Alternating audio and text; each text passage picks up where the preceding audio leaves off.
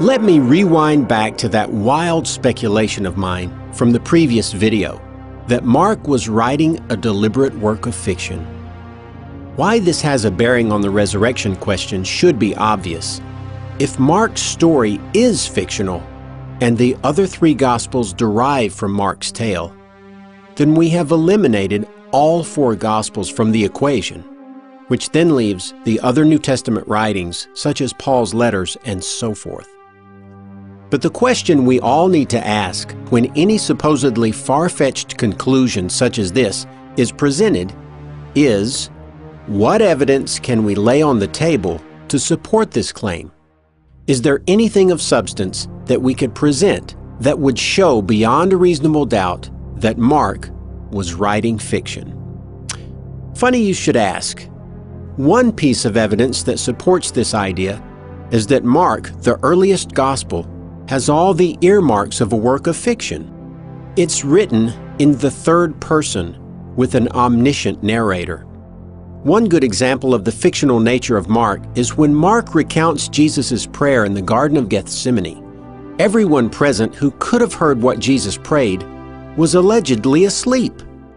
How did Mark know what Jesus said if everyone was asleep? It's the omniscient narrator at work. The author of a work of fiction always knows what his characters are thinking and doing at all times.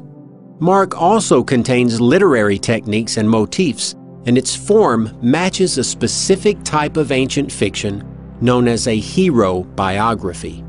This was a common form of fiction in the Greco Roman world. The Odyssey by Homer is a perfect example of this.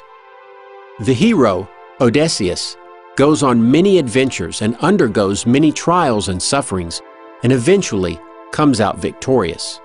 But an even stronger piece of evidence that Mark has given us a fictional tale is that Mark has not just framed the life of Jesus as a hero biography, similar to the Odyssey, but has actually drawn details and motifs directly from Homer's Odyssey.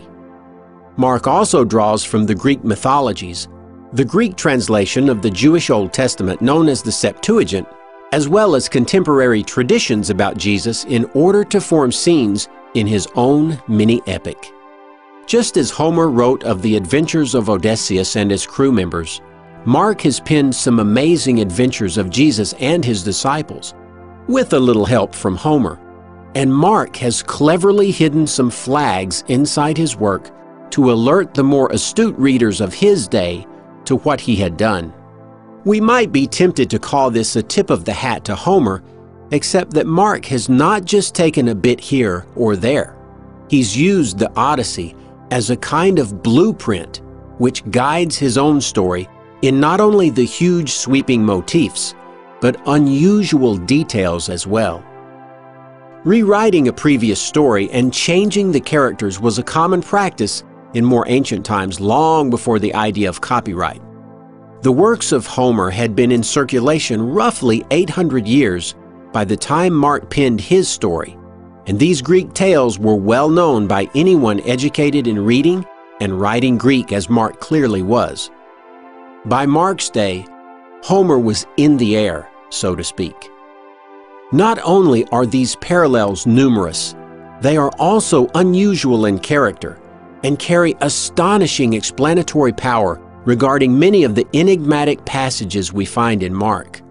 The thesis that Mark used scenes and concepts from Homer actually explains many of the oddities we find in Mark, which seem to defy explanation, such as the naked young man running away from Jesus, why Jesus would curse a fig tree out of season, why Jesus was crucified between two criminals and not on either side of them, why the feeding of the 5,000 entailed only male guests, why the chief priest needed Judas to identify Jesus when Jesus had been debating the chief priest in the temple and showing himself publicly on many occasions, why Jesus made such a big deal over keeping his identity secret through the entire gospel why he traveled by ship so often in Mark, but not in the other three Gospels.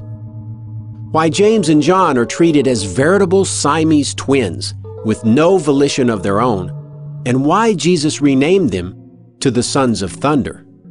How an anonymous woman would gain worldwide fame, and so on. So, buckle your seatbelts and no smoking. We're about to go where no resurrection debate video has gone before.